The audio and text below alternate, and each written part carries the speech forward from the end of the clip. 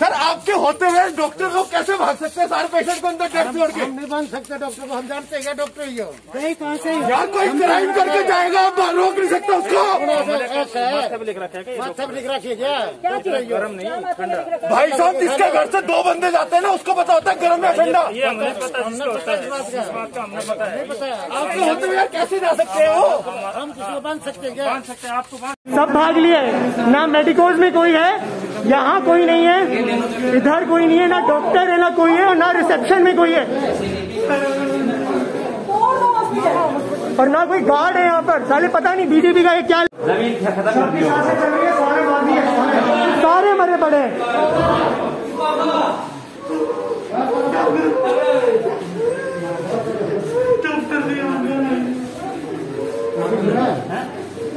क्या